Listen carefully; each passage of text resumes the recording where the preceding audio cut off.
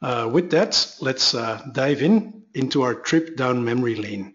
Uh, in this talk, what we are going to do is explore .NET's memory management, uh, mainly look at what the garbage collector does, what the CLR does, and how we can write software that actually helps .NET help us. That's uh, the goal of the presentation. Right, so the agenda for today. Uh, first of all, for those who don't know about the garbage collector or have a vague notion of what it does, we'll quickly go over what the garbage collector does, and then we'll dive into how we can actually help the garbage collector help us in writing our software. We'll also look a little bit at uh, allocating and deallocating memory and hidden allocations that we may have in our code. Um, we have a section on strings, which is quite an interesting data type in, uh, in .NET. And then we'll just explore the heap using CLRMD, which is a library where we can just query, um, query whatever is in memory and that we may want to explore. So let's go. The garbage collector is part of the .NET runtime. So the .NET runtime, it manages the execution of programs. So whenever we write a program, uh, we host it in the .NET runtime, which does the compilation for us. So whenever we compile in Visual Studio or in Rider, uh, we compile to intermediate language, and then the .NET runtime will, at runtime, actually compile that to machine code and execute it. It manages things like type safety so that it knows that a string is a string, that your person object that you're writing is actually a person object. Uh, it handles exceptions, so it tracks exceptions, it makes them bubble up until someone handles the exception or doesn't handle the exception. Uh, it also looks at security, like for example, can I actually execute this portion of code? Can I access this specific library that's on the system? It handles threads for us, and the thing that we are going to see in this talk is it also manages memory for us and it has a garbage collector that also helps in memory management. So memory management in the garbage collector is, I think, one of the key features in .NET because um, memory management and having a garbage collector gives you some virtually unlimited memory in our applications. You don't have to think about allocating and deallocating memory. You simply assign some value to to a variable and you basically don't care afterwards because the garbage collector will clean it up after us and make sure that the memory becomes available again. Uh, the way it works is that .NET allocates a big chunk of memory uh, when the application starts and then it manages that block of memory itself. So whenever we create a variable, our variable is actually declared or uh, allocated in that big chunk of memory that .NET already pre-allocated for us. Um, then we have the garbage collector coming around every couple of minutes or every, yeah, whenever it runs, uh, which reclaims this unused memory and then makes it available again for later allocations we may want to make. So uh, memory allocation, like I said, whenever you create a new object and you allocate a new object, this is allocated in the so-called managed heap. This is this big chunk of memory that's uh, created at the start of our application. Uh, by doing that, .NET makes allocating memory really fast because it's basically just adding a pointer. It doesn't have to go to the operating system and ask for more memory. Of course, sometimes it to, has to do it, but it doesn't have to do it for every single variable that we are um, assigning in, in, in memory. Of course, .NET also uses some unmanaged memory for itself, basically stuff that it needs for uh, yeah, for its own, like uh, the .NET CLR itself, some temporary storage for the garbage collector itself, things like loading DLLs, the graphics buffer, etc. But generally, whenever we use memory in .NET, it's all allocated in this managed heap. Then uh, we have the garbage collector coming around and that thing releases objects that are no longer in use. The way it does that is it looks at the different application roots in our application um, and it builds a graph of all the objects that are reachable from these roots. And if it finds that the object is not reachable, it just removes the object or puts it into the finalizer queue, then releases the memory, compacts the heap depending on uh, where, where you are so it doesn't get fragmented, and then uh, you're good to go and reallocate that specific portion of memory that was available beforehand. Now, one thing with the garbage collector is it takes time to scan all the different objects that are in memory. So what you will see is that the garbage collector is actually uh, dividing the heap in generations. So you have generation 0, 1, and 2. And those generations typically are um, garbage collected less often the higher the generation. So for example, Gen 0 will be garbage collected much more frequently than generation 1 and generation 2. This means if you have a short-lived object, uh, for example, a local variable somewhere in a function. This will be allocated in Gen 0. Then when the garbage collector comes around, it will look at the object and if it's still reachable, if it's still in use, it will move it to generation 1. The fact that it's still around means that it will keep it around in memory and move it to a higher generation so it doesn't have to rescan it over and over again whenever it runs. Of course, if the object is no longer reachable, it will simply remove it from memory and the memory will become available again. Uh, in generation 1, the same thing happens. Uh, so if the object is still alive when gen 1 is garbage collected, it will move the object to generation 2, which is collected even fewer times. Um, and of course, if the object is no longer reachable, it will also be removed from memory. Same thing in Gen 2, if we have a garbage collector happen, uh, collection happening there, um, Gen 2 will be collected. If the object is still reachable, it will just stay in generation 2. Uh, if not, it will be removed and so on. So that's basically, in a nutshell, what the garbage collector does. Uh, next to these three generations, there's also the large object heap, which is like a special segment for larger objects. So if you have a really large array or a string that's larger than 85 kilobytes, it will be allocated on the large object heap. Reason for that is those large objects are more difficult to scan because they may have more properties or more fields in them. And the garbage collector just doesn't want to touch them because it would take too long uh, in terms of time to scan those objects.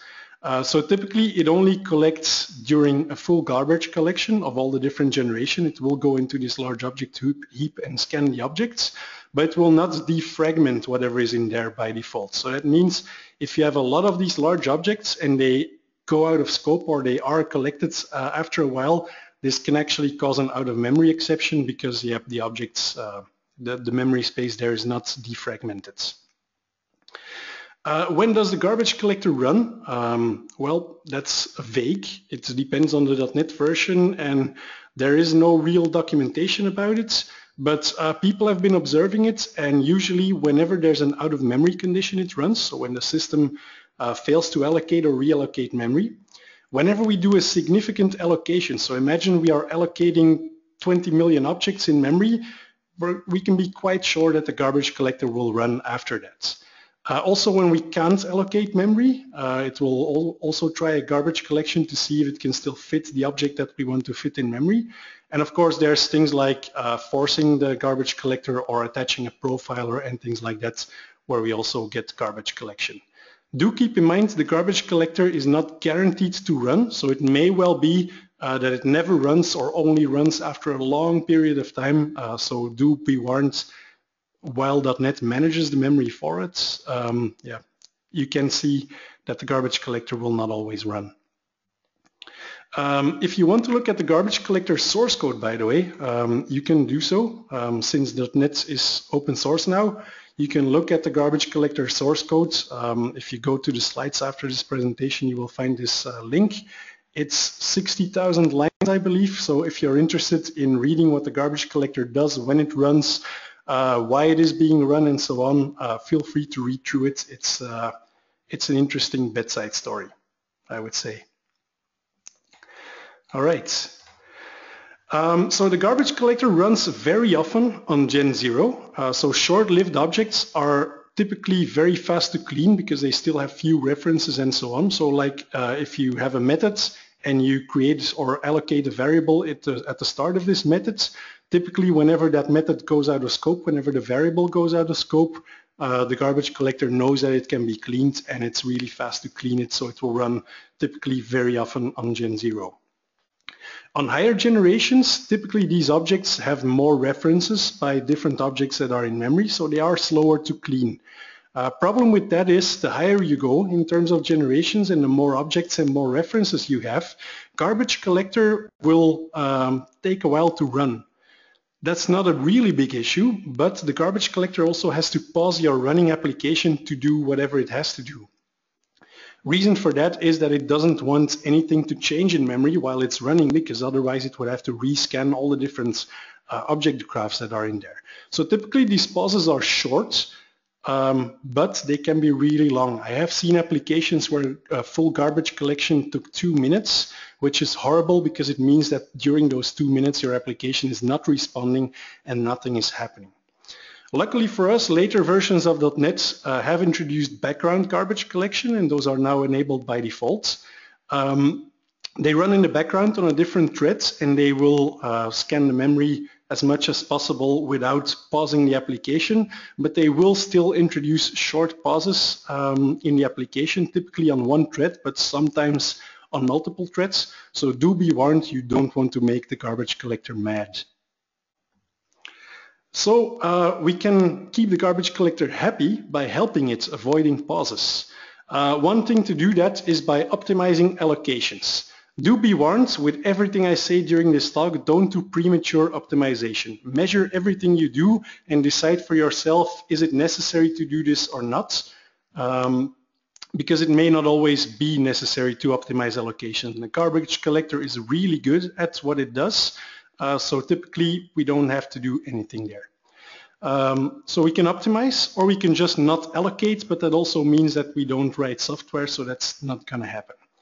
Uh, things you can do is making use of IDisposable and the using statements um, to make use of IDisposable because if you implement IDisposable correctly, you are cleaning up references and actually helping the garbage collector in uh, running through the entire tree of objects that you have allocated. Um, finalizers are also something that can help the garbage collector. But do beware, um, if you run a finalizer, your object will be moved to a finalizer queue, which means that it always will move to a higher generation. So while writing a finalizer will really help the garbage collector, you may actually be uh, yeah, making any issue you may have worse. Uh, another trick of helping the garbage collector is by making use of weak references. Uh, weak references are objects that you can allocate in your memory and whenever the garbage collector passes through them, whenever the garbage collector passes through them, the weak reference will be collected. You're actually telling the garbage collector, whatever happens, this object you can always collect. You don't have to scan the entire thing. Don't check, just collect. So let's, uh, let's look at what we can do there. By the way, on all the demo slides, I put this GitHub URL where you can find my demos. So if you want to run these demos yourself, or make use of the profiler uh, on top of these demos go ahead, clone this repo and uh, go wild. All right, let's see if we can help the garbage collector. Uh, where's my Visual Studio? There we go. So in this project, I have a couple of demos, and one of those demos is uh, one where we are helping the garbage collector. So what I did here is create a cache object. And this cache object is a typical cache where we just want to keep a dictionary of items by ID, which is an integer, and then have a weak reference. What this means is that uh, when the garbage collector comes around, it may be that our data, the thing we actually want to store, is garbage collected and that our cache contains a null reference to that data object. The nice thing about that is that whenever there's memory pressure, whenever the .NET runtime needs more uh, memory, the garbage collector will run and my items will just magically disappear from this uh, from this cache object. So that's that's actually quite nice. So what I'm doing in this code is allocating a bunch of those data uh, objects as a weak reference, and then uh, yeah, basically keeping track of whenever we have to regenerate the object. So if the object is null, when there's no value uh, in there anymore, we just create a new data object there. Stupid cache, but just making use of the weak reference there. Let's see if we can run this with the profiler attached. If we profile this one and we make use of uh, the memory profiler, um, dotMemory we have, uh, we can run the application, collect allocation data and see what's happening in there. So if you look at the code, by the way, for these demos, what you will find is that they will print whatever you have to do and so on. So if you want to try this on your own, uh, you can definitely do that. So let's run our first demo. And okay, so what we did now is that we uh, generated a cache of 20 objects. So if we get a snapshot in the profiler and we dive into the objects, we will typically find our cache, that's one item, and we are caching data, and we have, where is it? we have 20 weak references to data. So we actually generated 20 items in our cache. That's awesome. Now let's uh, press enter to run the garbage collector. And we can see that we regenerated some objects and some we didn't, but we regenerated about 65% of the objects after the garbage collector cleaned out the data from our weak references. Let's see if we can validate that by getting a snapshot, then looking at the memory traffic, and if we search for data, we should see that um, we reallocated 13 objects in this second snapshot. So we reallocated 13 new items of data, which means that the garbage collector actually did its work perfectly. Uh, it cleaned out the data objects that we had in our cache and they were gone from memory and our cache had to reassign them later on. So that's, uh, that's really nice. Another way of helping the garbage collector is by creating, uh, by making use of a disposable. So what I have here is a sample disposable which opens up a file stream to some file on disk and allocates some uh, integer pointer into our uh, operating system. So pretty simple, except that these two objects are uh, members of our sample disposable, so they have to be cleaned up after um, the garbage collector runs or they have to be cleaned up as part of the garbage collection process. So let's uh, see if we can first run this without disposing and then run this with disposing the application. So what we are going to do is again start the profiler, uh, collect all the data that we have in memory there. And in our demo, we will see that we are first um, running the demo. Where is it? We are first running the demo by not disposing the object. So we are creating a list of 10,000 sample disposables and then just clearing the list and running the garbage collector. We will see that this actually keeps the sample disposable in memory even though we are collecting the thing. So let's see if that's, uh, if that's the truth. We have the profiler running. Now let's uh, run our second demo and allocate 10,000 objects. There they are we can get a snapshot. If all goes well and we look at the list of objects, we should have our sample disposable. We have 10,000 of those, so that worked. Awesome. Now let's uh, continue the demo and run the garbage collector. Uh, we can now fetch another snapshot so we can see that it actually destroyed those objects. So we can see that the objects were should, should have been removed from memory. Problem is, if we look into the snapshots, we will see that, sorry, let's go there, that our sample disposable is actually still in memory. So while we expected the garbage collector to collect this thing, um, it's actually still in memory. It moved the objects to the finalizable queue and only after a third garbage collection, which we can uh, do now, let's do that, only after a third garbage collection the objects will actually be removed from memory. So if we now look at the list of objects, this is where they should be removed from memory. So we still have our list and we still have an array, but our sample disposable objects are now all gone. Nice. Now let's continue the demo and just um, create again 10,000 items. So let's do that. Trust me on this, I'll just collect a snapshot and there will be more uh, 10,000 new sample uh, disposables in memory. Then I'm going to run a garbage collection and get a second snapshot there. What we are going to see is that by uh, calling IDisposable and cleaning up stuff ourselves, we can see that our second snapshot, so this is our first one, this is our second one, we can see that our second snapshot immediately no longer contains the sample disposable objects. So they are no longer in memory and if we go to the snapshot they will also not be on the finalizer queue.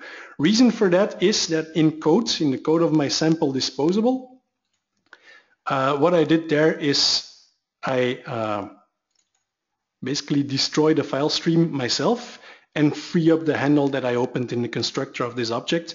Again, helping the garbage collector uh, help me and helping it clean up memory fast. Right, so that's uh, pretty much that. Let's close the profiler. Yes, kill all. All right, back to the slides. Uh, let's talk about allocations a little bit. Uh, when do you allocate memory uh, in your code? Typically when you're using a value type like an integer, a boolean, a struct, a decimal, and etc., you are allocating on the stack and not on the heap, which means that the value type that you're allocating is not managed by the garbage collector. It will be on the stack and when it gets uh, when it falls off of the stack, it will just be removed from memory and will no longer be available. For reference types though, whenever you new or whenever you create an empty string, you are allocating memory on the managed heap and that memory will be managed by the garbage collector. A question that I once got was, I don't do news, I only use uh, the I container and I let that thing create objects for me. Of course, that thing internally doesn't new, so that also means that memory is being allocated, right? Okay, there are some hidden allocations as well. uh, here's some example code where you have an integer, which is a value type that sits on the stack. Um, when we assign that integer into an object, we are actually boxing this integer and an object will be allocated on the managed stack. Nice other thing there is that if we take that int out of this object box or we cast it again to the integer, um, that's not really allocating because again we are allocating this new integer on, uh, on the stack but what it does is we need some CPU effort to unwrap this object into an integer. So don't do things like this where you have a value type and then cast it into a reference type and back and forth because you're actually making hidden allocations there. There's some other hidden allocations as well. For example, params arrays are one of those. And if you're making use of lambdas and closures, you're actually also allocating some compiler generated classes to capture the state of execution. And we'll see that in a little bit. How can you find those hidden allocations? Well, uh, experience is one thing. So uh, the longer you are in the .NET space and the more uh, software you write, the more experience you will get with finding hidden allocations. Um, other good ways of finding them are by using intermediate language uh, tools. So basically a tool that looks at your C-sharp code and gets the intermediate language off of it. uh, there's one in ReSharper, as we will see in a little bit. Uh, you can of course also use Profiler and just look at what is being allocated and which hidden allocations may be happening. And if you're using ReSharper, there's a plugin called the Heap Allocations Viewer plugin that will also visualize whenever something is happening or whenever you're allocating memory. And uh, the Roslyn guys also created their own version of that same uh, type of plugin. So depending on what you are using, you can make use of any of these two and uh, find hidden allocations in your code while you are typing and writing the code. Again, don't do premature optimization, always measure what you are doing. Right, let's look at some hidden allocations. Uh, back in our code, let's go to demo 2. Uh, what I have there is some code. I have the boxing ring here where I have the example of boxing that I have. Uh, what I want to do is basically prove that a hidden allocation is happening here. And the way I can do that is by making use of an IL viewer. So what I can do is in ReSharper, uh, just Alt-Enter and go to the IL viewer. And what we can see there is the IL representation or the intermediate language representation of what we have. Uh, we can see our methods and whenever we click around in one of the windows, uh, the other window will highlight whatever we selected. So if we go to this allocation of the integer, we will find that it's this portion of code and we're actually loading an integer onto the stack. So that's no problem. The thing is that uh, we are boxing here. So the fact that we are assigning this integer into an object means that we are actually loading this location from the stack, but then we are boxing it using a boxing statement into an object of type um, system.int32. So it's actually allocating an object to store um, this value in. So intermediate language can really help us if you sort of learn how to read it in discovering this type of uh, allocation. So boxing is quite easy because it's a three-line code and the box is in there. And if you hover the IL statement, you can actually see a tooltip uh, that says we're actually converting a value type to an object reference and allocating memory. Right, let's look at a couple others. Uh, I have another demo here where we are validating arguments. So what I'm writing here is a method, and let's maybe close the IL viewer for a little bit. Uh, what I have here is a method where we want to sort of guard that something is true. So I have a class called ensure where we are saying we want to make sure that this directory exists. If it doesn't exist, render this uh, exception and uh, use the name of my parameter as, um, as sort of the exception type. So if we go to this method, we can see that if our condition is false, we are throwing an argument exception with our exception message and the parameter name. Awesome, really nice. Thing is, we are allocating quite a bit here. So if we again look at our IL viewer, you'll see that uh, we are doing quite a number of things. We are, let's go there, we are calling um, directory.exists. Okay, that's nice. That's the thing we want to check, so that's a good thing. Then we are uh, loading a string from memory. We are making a call to a method called string.format, which internally allocates a new string, and we're allocating the name of directory uh, string as well. So that's three allocations in there. Problem is, if we go into our methods, there's actually more allocations because it will check for the condition. And if the condition is false, we are also allocating a new exception methods, uh, a new exception object. So let's see if we can optimize this code and have less allocations there. I have a second attempt here where instead of having the string in memory directly, I'm actually passing in a lambda where I'm generating the string only if the condition is false. So if we go to this uh, code, you will see that we are checking the condition. Um, and if the condition is false, we are then only calling the method that generates the string and then um, generating the exception like that. So that's all nice. Let's see how many allocations we have in there. So well, we think that we are just passing a delegate. What we are actually passing is a compiler-generated object.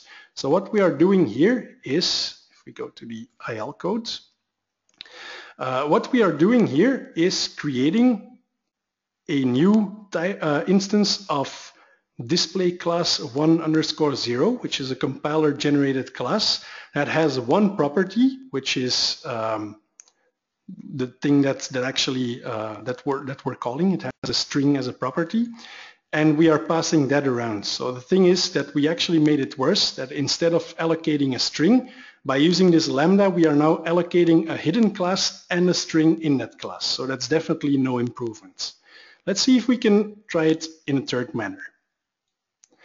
In the third uh, version of this code what I'm doing here is I'm also ensuring that something is true and I'm passing in the arguments like I did before. So I know I'm allocating the string and so on, but let's see what we are doing inside of this class, uh, or inside of this method, sorry. Uh, what we are doing is instead of allocating this new string beforehand, so running the string.format beforehand, we are now running it in here. Problem is, if we are passing it this uh, arguments array, so the, the number of parameters for the string.format function, what's actually happening is that we are calling and loading an entire string array, which is again a hidden allocation. So uh, yeah, how to solve that? Well, the way .NET solves it for, for example, string.format is by creating several overloads. So what I did here is I basically took the same version like my is_true tree and I created two versions, one which takes one parameter, arg0, and one which takes two parameters, arg1, uh, 0 and arg1. And then instead of passing them in as an array, I'm just passing them in one by one so that I'm using the correct overloads. And if we now look at the IL codes, we can see that we are just loading the arguments and not really allocating a new array in there. Right. So that's one way of optimizing something and hidden allocations in terms of params arrays are really evil because they always allocate an array even if like in this version you're only passing in one specific string which is uh, quite sucky. Okay, one important thing here in this entire talk is do not optimize what should not be optimized. Again, I can't stress this enough, always be measuring. Um, we want to know when allocations are done, but perhaps those don't matter, the allocations. We want to make sure that we are only optimizing what we have to optimize. So measure How frequently are we allocating? How frequently uh, do we collect? What generation are our objects on? And are our allocations introducing pauses? If all of that is okay, don't optimize. If something is wrong there in that list, well, maybe you have to optimize. But the only way of knowing is by measuring. And you can do that using dotMemory, dotTrace, or any of the other tools that are available. So let's see what we can measure. Uh, I have another demo here where I, as a Belgian, am loading beers into memory. So I have this big JSON file which takes forever to load on uh, my machine. And this because it's a, I think it's a 60 megabyte file uh, that I found on the internet that should contain all the Belgian beers. So that's 60 megabytes of beers there.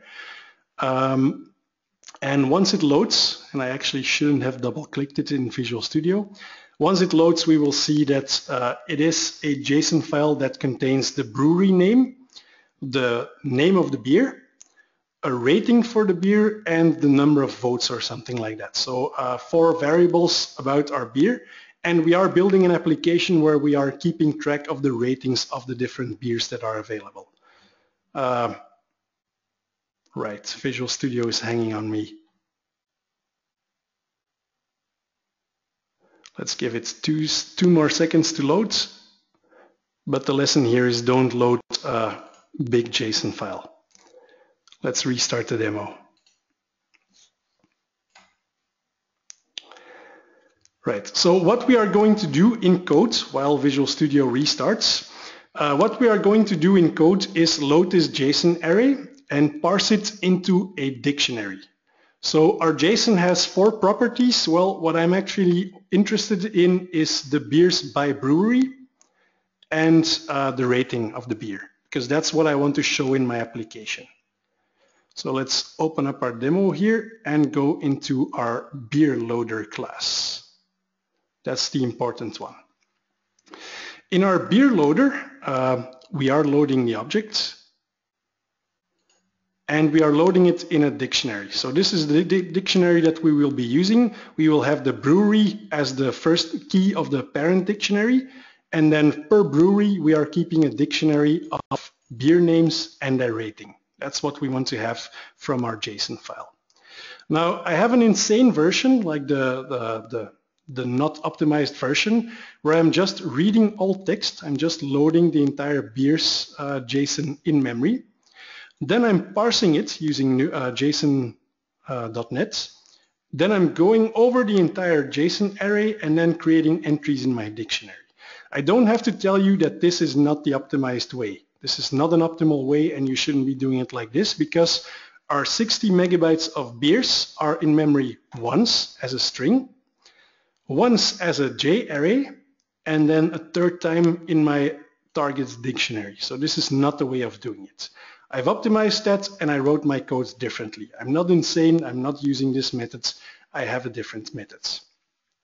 My other method is instead of parsing the entire string uh, or the entire JSON file as a string at once, I'm just using a stream reader and streaming the JSON as we are reading it. That's nice because that means that I only at the most have a couple of JSON objects in memory and then for every JSON object I'm immediately putting it into my dictionary and then uh, discarding the JSON objects again. So that should be optimized, right? Um, I'm not going to run the profiler because I have some other demos that are really interesting, but I do have a snapshot that I captured this morning. So if we look at our unoptimized version um, in dotMemory, what we will see is some crazy allocations happening. So you see all this Bart Simpson hair in the timeline there. That is because we are continuously allocating new and new memory while we are loading the beers the first time. That's okay. Um, the problem is if you load the beers for a second time, which is this time range here, if you're loading it for a second time, we are loading it again in memory, allocating a bunch of memory, then all of a sudden we have a garbage collection happening apparently and we drop back to probably having all the beers in memory just once. So that's not optimal because we are first of all allocating a lot of memory and here we are allocating memory twice and that's not what we want to have. Uh, the reason for that is that between these two snapshots uh, what happens is if we look at the memory traffic we are uh, regenerating, sorry, if we look at a comparison of the object numbers, we are allocating new objects of type string. So we are allocating 253,000 new strings and deallocating 253,000 new strings. So if we load our beers two times, we are actually putting them in memory twice and collecting all those different strings and all those different JObjects over and over again. So that's not the way we want to do this. If we only want to load this beers JSON file once, that's probably okay, but if we want to load it multiple times, this is really going to work against us. So the way we can solve that is, if we go back to memory, uh, to our code, by reusing objects. So instead of, um, so I'm basically doing the exact same thing here. I'm streaming my JSON file, but instead of creating new dictionaries all the, all the time, what I'm doing here is just trying to get the value from my current uh, Beers dictionary and overwriting the rating. So if it exists, I'm just overwriting the rating instead of creating a new dictionary and allocating all that memory again. If we look at the snapshot of that execution, let's uh, try that as well. Should be this one. Uh, if we look at the snapshot here, again, the first time we load, we see all these allocations, but the moment we uh, reallocate the entire array or reload the entire JSON file into memory, we can see that memory consumption is pretty much stable. And the reason for that is of course that we are not creating a new dictionary there over and over again. We're just updating the existing one that we already had in memory. So the good thing there is no garbage collection has to happen here. Um, and we're actually keeping the garbage collector happy again. Also, if we compare these two, you will see that uh, in between two loads of my beers JSON, I'm no longer allocating new string objects or garbage collection uh, collecting string objects. So this way is much more efficient to load the array. Point that I wanted to make here is always be measuring what you are doing in code and always measure um, with the profiler if an optimization makes sense or not. One thing to take away from this is if you want to uh, load lots of data in memory and you know that the data may change a little bit, but a lot of objects will remain the same or the shape of the object will, uh, will remain the same, make use of object pools. Reuse objects that are available um, because you are allocating fewer memory, which means you're also invoking the garbage collector less uh, when you are doing that. Memory traffic is also going to be lower, which means that the garbage collector again will not be triggered as much as before. Uh, there's a pattern called the object pool pattern where you can basically just generate some objects beforehand and then reuse those over and over and over again. Uh, if you look at the slides, there's also an article to uh, the ASP.NET Core GitHub uh, page where they describe a way of using object pooling to optimize some scenarios in ASP.NET Core. It's really interesting to read. Right. Again, don't optimize what shouldn't be optimized. Um, by that I mean the garbage collector is optimized for high memory traffic in short-lived objects.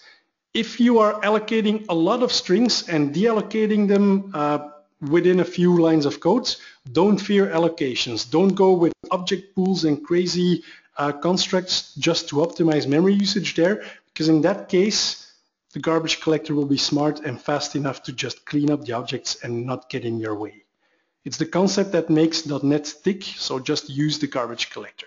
But again, measure, do know when allocations are happening and do know when the garbage collector is uh, collecting memory in Gen 2 more specifically. Right, um, let's dive into strings. Strings are also an interesting object type. Strings are objects. Um, if you write codes in uh, Visual Studio or Rider, what you will see is that you're typically making use of a lowercase string uh, construct. It looks like a value type, but it's actually a reference type. A string, if you go to the decompiled sources or, um, or, or find the .NET sources online, you will see that a string is a collection of chars and also has a length property where we keep track of how many chars are in that uh, read-only collection.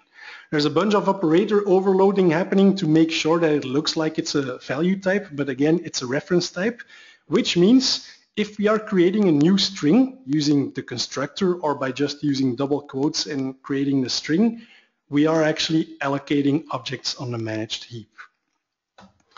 Right, uh, I'm not going to go into this one, um, well maybe quickly. What you can do is if you profile your application, um, if you're using dotMemory, what you will see is that if you have a, an application that has a lot of strings in them, uh, you can see that there will be string duplicates. So when we are assigning or creating a new string in memory, the string may be duplicated in memory. So I attached uh, the profiler to Visual Studio this morning and what you will see is if we open the snapshots that there's a lot of string duplicates in there. So dotMemory analyzes that for us and we can see that there's various class names and so on that are in memory over 500 times. So if you wonder why Visual Studio is consuming that amount of memory, well, here's your answer. Okay, uh, let's skip this entire demo because yeah, it's nice, but again, you can download the sources and uh, just go through it. Right, string duplicates are actually something that you will see in any .NET application. If you run a console application that just uh, waits for input, you will see that it also allocates a number of string duplicates. Uh, system.globalization, for example, if I run an application on my machine, I will get all the different weekday names in memory at least three times. So string duplicates will happen and they uh, will be in memory of any .NET application. Are they bad? Well, no. Uh, the .NET garbage collector is fast enough if you have short-lived string duplicates and so on, so it will be fast enough, no worries there. The thing is, if strings end up on Gen 2, and there are duplicates on string 2, you're probably wasting some memory. So you may want to optimize that. Again, it's okay to have strings there, but do measure. And if you see that you are wasting 60% um, of the capacity of Gen 2, well, maybe you should do something about string duplicates. Um, there's of course a few tricks in the .NET framework as well. Um, string literals, for example. In this code example, do we know if all strings are on the heap and if they are duplicated. Well, if we would run this code, we would see that A equals B, both in value as well as in reference. Reason for that is that the compiler will, in the compile stage, see that these hello world strings are the same and only store it in memory and in our assembly once and just reference it for both these variables. So in this case, the string is only in memory once because they are in there at compile time. Well, they, they can be compiled into our assembly. Problem is, um, let's skip that one as well. Problem is, uh, if we do something like this, where we are reading data, for example, from the console or maybe from, um, from a database or something like that, what we are doing is we are loading the string in memory twice, which means if we would run this code, we would see that uh, A equals b in value if we would type hello world twice, but the reference would not be the same. Reason for that it's, it's two objects that are allocated in memory. Luckily for us, we can do something about that and that's called string interning. By making use of string interning, uh, we can store and read strings from a pool that is uh, called the intern pool. It's a, it's a dictionary basically or a hash set that sits in memory where we can intern strings and allocate a string using this method. So if you look at this code sample, you will see that we are calling string.intern and what will happen is .NET will check if this specific string, which is my blog URL, is already in the intern pool. If it's not, it will allocate it and add it to the intern pool. But if it's in there, it will just reuse the existing string and just make use of a reference. So if we would run this code and assign a million blogs or blog URLs into a list of strings, this string would only be in memory once because we are interning that string. That's really nice. A um, couple of caveats. Uh, not all strings are interned by default. Good question could be why not? Well, the answer there is it's a CPU bound operation to look if the string is already in memory or not. So that's the reason why it's the typical balance between CPU and memory. Also, the strings that you are interning are not on the managed heap, which means they are not garbage collected. They are on the intern pool. And the intern pool is an object that sits in the app domain which means if we start an application, and especially, for example, in a long-running application like a web application or some kiosk software that runs forever, all the strings that are in memory by interning them will remain in memory forever or until the application is closed. So that means interning is good, but it can also work against you if your application runs too long and you're interning too much uh, data there. Uh, as a rule of thumb, if you have long-lived but not a lot of unique strings like uh, reference values that are being used, like 10 reference values for example, interning is really good because you're not duplicating those. If you have lots of long-lived but many unique strings, there's no real benefit of interning because you have a lot of unique strings. Uh, they all sit in memory and you're basically wasting memory in that case. If you have lots of short-lived strings, don't intern just trust the garbage collector that will clean up those strings. But again, measure to make sure. This is just a rule of thumb, always uh, look in a profiler and see if, uh, if things are better.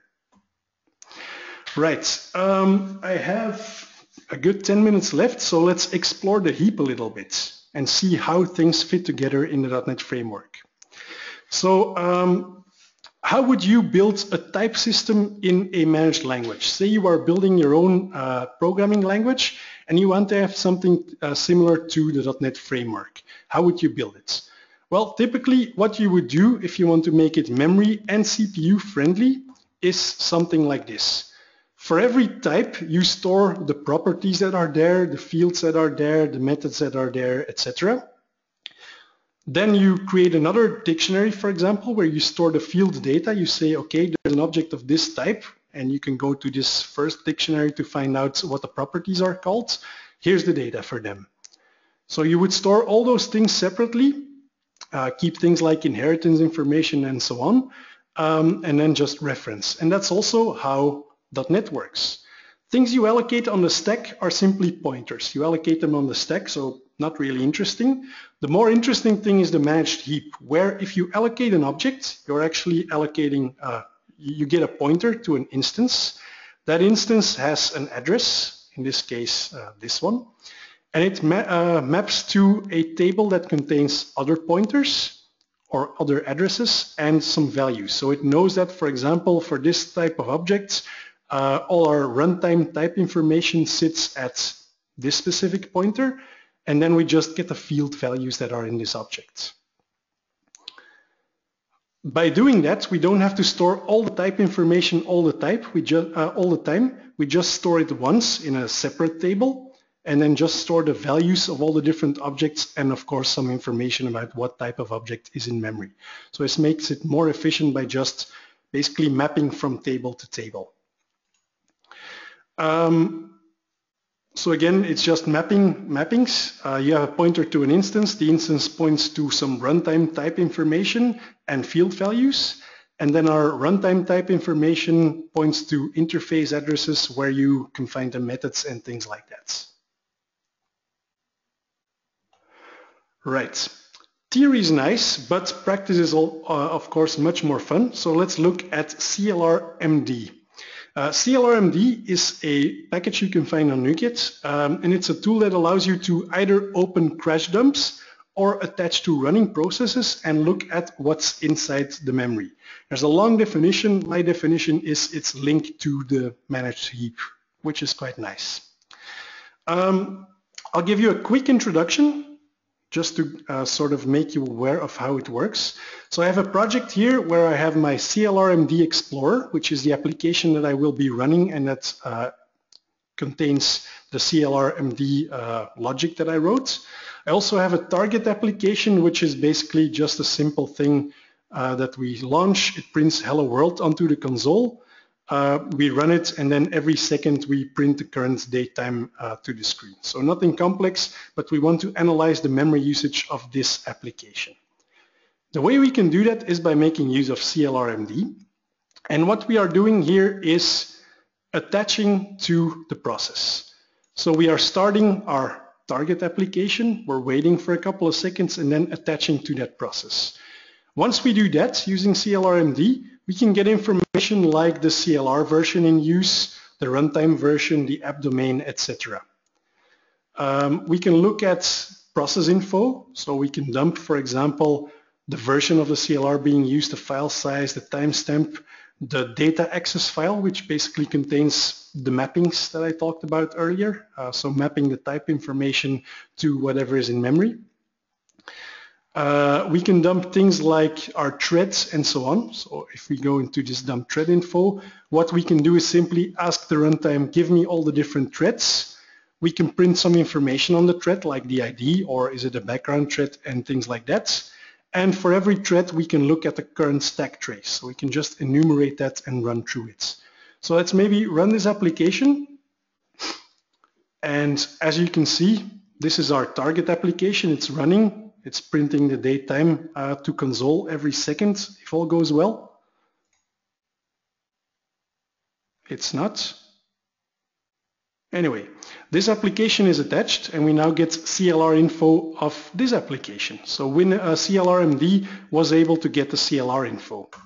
I'm also able to get runtime info so we can see where this application was launched from, uh, which config file was used, etc. We can look at our threads. So we have five threads running, a foreground threads and a couple of others. Um, and we can see some background threads there as well. We can see the different objects that are in memory, so that's a lot of them. Uh, we can see the objects that are on the different generations, so in here we can even see the different generations that are being used by this demo application. Again, uh, using CLRMD, we can quite easily do that. Um, if we want to just walk the heap, we can just get the heap from the current runtime that we attach to and dump the objects. So the way we dump objects is we enumerate all the different generations. For every object, we go to our first mapping table and we get the object type and then we can get the value of that object type uh, and so on and just print it to, uh, to console. The thing I really want to show here is that we can use CLRMD to do some automated profiling as well. So in my application, I wrote, where is it, uh, a tool which is called dump string duplicates. What I can do is walk my entire heap find all the different types of every uh, object that is in memory. If it's not a string, just ignore it. But if it is a string, we can count the number of strings and get our duplicate values. So if we continue our application till that point, we can see that we have duplicate values. And like I told you, uh, the month May is in memory 16 times duplicated by .NET. Different month names are in memory 8 times, etc. So again, by using CLRMD, we can watch whatever is happening in memory and we can sort of write an automated analysis tool for whatever is in memory. Now there's uh, one thing that I do want to check. This should run right. Yeah, that should run. Uh, one thing that I do want to do is write something that is in dot dotMemory. So if we would run our target application, Let's set it as a startup project. If we would run this application, we are creating a new timer. We are creating a new clock. The clock is disposable, but we are using it in our timer callback. And while our clock may be disposed after this using, the timer is still around, which means that our clock will probably also still be around. In uh, dotMemory, we can easily see this by profiling the application uh, and just running it and getting a snapshot from the application. Hold on, wait for it. Should be fast. So the application is now running, should print hello world and then starts the timer ticks. There we go. So it's now ticking as a timer. And we are expecting it to have disposed of my clock class again or of my clock object. Again, because it's out of scope, we uh, disposed it by making use of a using statement. Well, if we get a snapshot, we go to the list of objects in uh, dotMemory. We search for our clock. We can see, first of all, it's still in memory. And if we go to the details of it, we can look at the key retention paths and we can actually see that the clock is being held in memory because it's still referenced from a timer callback, which is in a timer queue, etc. So we can see the hierarchy of objects that is keeping my clock in memory. Let's see if we can make use of CLRMD to find out uh, the exact same information. Let's set this again as a startup project. Uh, what we will do is instead of uh, dumping duplicate strings, etc., what we will do is dump the retention of my clock objects. So let's maybe first run it so we can see what it does. The application is running, we are attached, we get all the information, string duplicates and so on. That's a lot of strings. But we also get the retention path of my clock object. We can see that the clock is kept in memory by a timer callback, which is in a timer queue and so on. So we can actually see that using CLRMD as well. The way we can find this out is by playing garbage collector for a little bit. What we are doing is, again, we are walking the entire heap. Every object that is on the heap, we are checking the type. If the type is not of our clock type, then we don't care, we're not interested. If we do find our clock, we have our root object. Or at least we don't have our root object, we have the clock that is being kept in memory. Next thing we are doing is, if we have our clock, we are enumerating all the different roots. Uh, the roots are typically objects that are yeah, the, in, in the highest place in the hierarchy of objects and are referencing my clock either directly or indirectly. What we are doing is we are enumerating all the different roots and then for every root, we are getting the path to our object. So what we are doing is we are walking the heap just as a for each. Then whenever we find the object, we are walking all the different roots. And for every root, we see if we can find the retention path there. So again, CLRMD just gives us access to whatever is in memory, but we can use it to either mimic or rebuild that memory from scratch. But more importantly, it's a really useful tool to automate some common analysis of something that you are investigating. So it's really uh, useful. Sample code again is on GitHub if you want to uh, drill down into the details. Right, in conclusion, um, what you can take away from this session, I think, is that the garbage collector is a really useful tool. It's optimized for high memory traffic and short-lived objects, so it's really good at that. Um, but if you have other types of objects, you should be careful a little bit. Don't fear allocations. They're not bad. Garbage collector is really good, but do beware of Gen 2 collections that may pause your application for a long time. Um, string interning may make sense, may make no sense in your application, but measure again. But most importantly, don't optimize what you should not be optimizing and measure. Use a profiler, use CLRMD, use, uh, we actually have a tool called dotMemory Unit where you can profile your unit tests. It's really useful um, to automatically check your entire application for memory issues.